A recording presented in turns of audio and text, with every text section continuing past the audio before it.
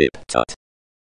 Hello, everybody, and welcome back to TipTut, and welcome back to Intro to Illustrator. Um, I did a little bit in the absence just so that we can actually get um, some progress made.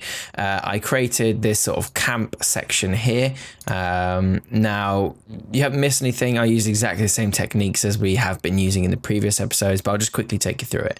Essentially, I've grouped this entire section um, as one element, and then inside that uh, is all of the separate stuff. Okay, so using just the pen tool um, and the circle tool and stuff like that, I created this sleeping character here with um, two pen sections for the pillow, circle for the head, and another one for the blanket.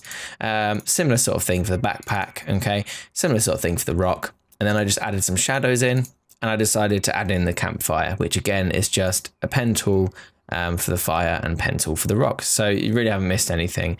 Um, I created this grass section with the same technique as we did with the other grass sections, um, just so that we can actually get onto something a bit intricate and fun this episode. Okay, I'm just going to hide everything that we've done so far. Like so, and we're going to work on this flower because this will combine everything we need to know about the pen tool. Okay, excuse me. So let's just dive right in. Now, the first thing we're going to do is create the stalk. We're going to use the stalk using uh, the stroke rather than the fill because everything we've done so far has been using the fill. So I'm going to turn this fill down to nothing. Okay. And then I'm going to come down to uh, the color selection here. So we have uh, the color for our fill. And if you just click the stroke one, it puts it on top. Then when you select from your color palette, a color, you'll notice it puts it in the stroke section. Now, if I had fill on the front, um, it would put it in the fill section. Okay, just going to click none so that goes back to none there. But um, we want to have the stroke to the forefront. Okay, and we want to choose. Um, uh, it probably wants to be green, but we're running low on greens, so I'm going to use a different color for now, and then probably come back to green later. Maybe we'll use. Um, yeah, let's use this nice turquoise. That might look good. It could be a magical flower or some kind. Okay. And then we're just going to try and follow this stalk with the stroke tool. Okay. So the same thing, pen tool as before clicking and dragging to create the arc that we want, and then we let go. But instead of a path, uh, a fill, we get a path, okay? Now at the moment it's only one point thick, you can increase that to where you want, okay? And if you want to as well, you can change the um, caps and the ends and things like that. And you do that under the uh, stroke window. So window and stroke. Um, and you'll notice here that you can control everything. So you can change how the end looks. Okay. Uh, I'm probably going to stick with round and you can change how the corners, there's no corners here, but if this were to be a square, um, how the corners would join and you can change uh, how you align the stroke, whether the stroke is to the center or whether it's to the edge of the shape. Okay. And if you want to, you can make it a dashed line instead, but we don't want that. Okay. Right. So we're just going to leave that. I'm going to use then uh, click on this, right click and choose group. It's only one thing at the moment, but that's fine. And we'll just call it flower. Then we'll double click. So we're in isolation mode. Okay. And then we're going to start drawing the leaves. So we'll just dive right in and do that. Uh, excuse me. Making sure that I go away from stroke and back to fill. And I'm just going to choose a um, lighter color for the leaves here. Oops, sorry, I keep clicking on that stroke and uh, putting us back onto something that we don't want. Okay, I'm just going to go back to that. Uh, so I'll start here at the top of the leaf. And bring that around like so. Try and do it neatly because I think these are actually going to be on top of the stalk. So there's one leaf. And we'll do the second one, and I think we'll actually do this one below the stalk, which will help. So we'll do it like that. We can join it there. Oops, sorry, we can join it like this. And join like so. Okay, now that looks a bit fat, so I'm just going to adjust those handles, bring it in a touch, make them shorter so it's less extreme, and then just round out that bottom, okay? There we are. That looks good to me. And then we'll push it behind the stroke. Okay, perfect. Um, I probably want a uh, center to this to make it look a little bit like a fin. um, is the kind of look I'm going for rather than an actual leaf. Because let's make this a, a weird a weird alien flower rather than just a normal one. That way we can get away with using blue. um, I need a nice bright color there. And I need something similar for this one. Okay, again, just clicking and dragging using the pen tool, holding Alt when I've clicked and dragged to create a harsh corner.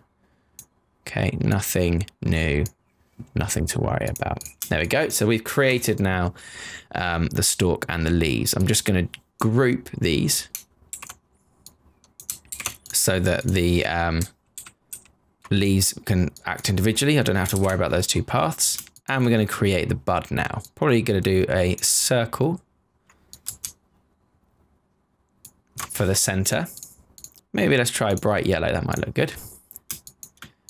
Something a bit bolder. Yeah. Position it in. And I'm actually probably going to drop this um, point here a bit further in. So I'm going to rotate it so that our points are at a slightly different place. And I'm going to just bring up this bottom point just a touch. And perhaps these ones too. Just that it's not a perfect circle and it sort of suits the perspective that we're going for. Okay. Uh, now I need a flower behind all of this. So I'll probably use the pen tool for that. And I'll just create the inside of these petals. Uh, again, clicking and dragging, nothing new, nothing to worry about. And like so holding Alt now to move that handle. And we'll choose um, perhaps a nice dark blue for the inside of the petal there. And we'll push it behind. So if we drop down this flower, we can see that we have our uh, leaf. I'm just going to call that leaf B for back. We'll call this one stem.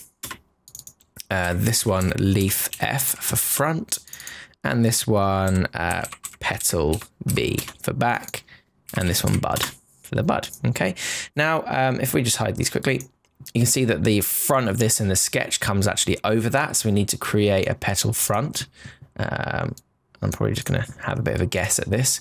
Um, doing it like so. Okay. Just follow the original path. Like this want a hard point there, so we'll just bring that around. Uh, now here's the thing, um, this shape here is joined up automatically. We haven't finished it, so it's just trying to finish it for you, but it's actually obscured what I'm trying to look for. I find in this case, the best thing to do is click away somewhere, okay? So you can see what you need to see. And then hover over where you want the next anchor point to be and press Control Z. And then when you click, you know that you're going into the right place. Okay. So by the time you come to make your shape, you know, you're roughly in the right place. Okay, so just need to adjust that point to fit the drawing and adjust that one. Maybe bring that down as well. It's looking a bit fat for my liking. Um, not that there's anything against fat flowers. okay, let's make that a bit brighter. And we'll do the same for the next petal on this side. Again, we'll hide those two, probably hide that back one as well. And we'll get going.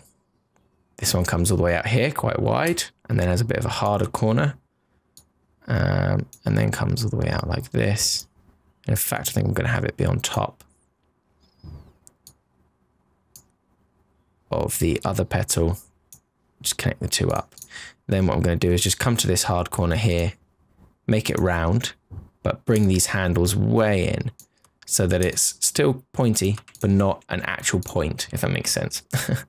uh, bring the rest of those back in. Align this back up properly. Maybe bring that handle down. Move this point in so it's more aligned. Maybe bring this point in a touch. So as you can see, we're tweaking as we go. Um, so that's not a problem.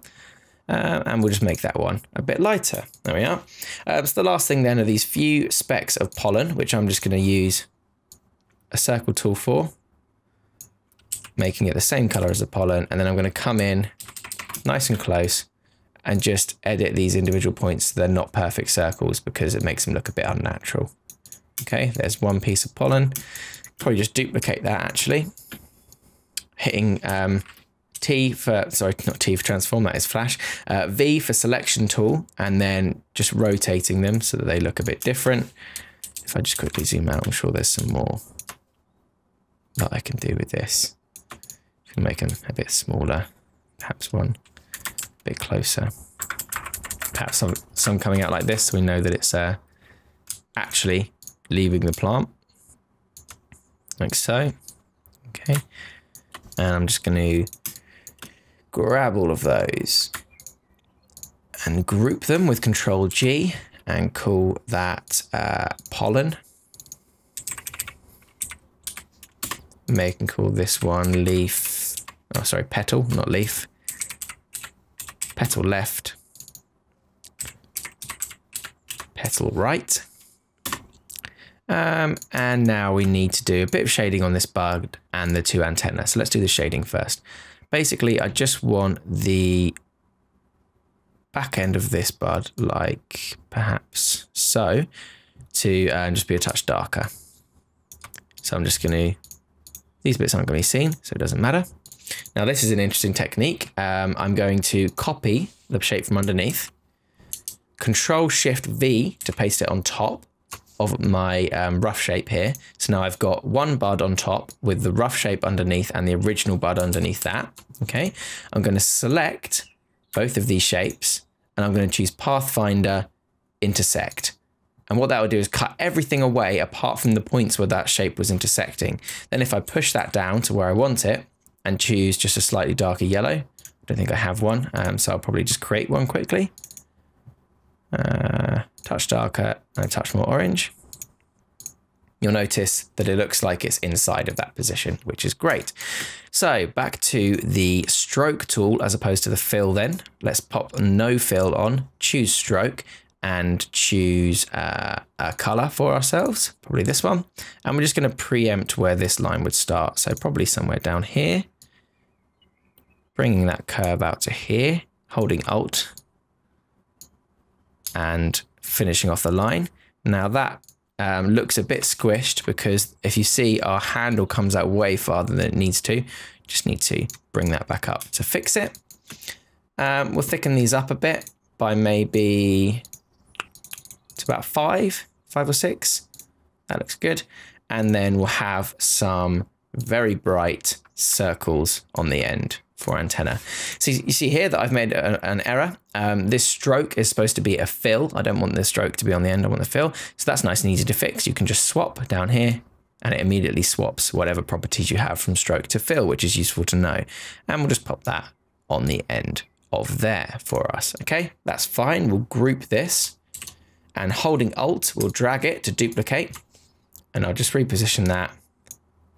Maybe make it a touch smaller um, and twist so it's in a rough position. Okay, now that doesn't look too bad, I don't think. Um, the one thing is I probably want this um, uh, stem here to have actually a bit of variation on it, but I can't do the same thing I did with this bud because it's a stroke. So um, what is very useful here is if you're happy with the shape of this, absolutely, you can right click and choose um, convert stroke to uh, fill. Um, now, it may not actually be in the right click menu. Um, but what you can do is go to object, path, outline, stroke. Okay, I thought it was in right click, it may not be. And what that's done is it's just taken our stroke, but you can see now it's converted it to a fill to the exact shape of what the stroke was. Meaning if I double click inside this, I can hold Alt and Shift to move it. Okay, about roughly halfway. I'll copy the original, paste it in place with Control Shift V so it's on top. Yep. And then choose this one and this one and choose intersect and that gives us that shape which is the where the two overlap. Push it back down under the leaves until we get right to the bottom. There we go. And just give it a slightly, uh, give this one, the original one, a slightly darker green. Okay. Um, I think I did that accidentally with a stroke. Is that correct? Let's see what I did there. yes, I accidentally gave it a stroke. So we will cancel that stroke, make sure we have fill selected on the front, and then give that the slightly darker green. Okay, there we go. That's fixed that. Uh, that might be a bit too much, to be honest. Um, so maybe we'll pick a color. So we'll just lighten it up a bit. Um, and pick an original. There we go. That's probably good. Now, the this bit's just bugging me a touch, so I'm going to select all of this, holding Shift to deselect the stalk there and group it. Okay, uh, and then I'm just going to rotate so that that is aligned like so. Okay, perfect. We have our flower. Let's drop out of there. We know that our flower is good, so we'll collapse that and we'll bring everything back in and see how that looks. Okay. Perfect. Not looking too bad. I'm actually quite a fan of these bold colours. I thought I was going to go quite um, subdued on this, but I'm not sure I will now. Okay, great. Um, that'll do for this time. uh, now that we've done all the drawing, we will do a gradient next time around, I promise. Um, I don't want these videos to get too long because people don't tend to watch them if they're more than about 15 minutes or so. Um, so stick with me and I promise we'll do a gradient next time. And if you're lucky, we may even get onto applying effects. Uh, the last thing we have to do is gradient these so they look nice, uh, apply some effects to the grass and trees so they look um, a bit more blurry, uh, and then the finally do the lettering up here. So thanks very much for watching, everybody. I hope you've enjoyed this. If you have, again, leave a comment below or join the Discord server, which is also in the description, and let me know any thoughts on how to improve. Um, and I'll see you all next time for part four. Remember to subscribe for more tips, tricks, and tutorials. Thanks for watching.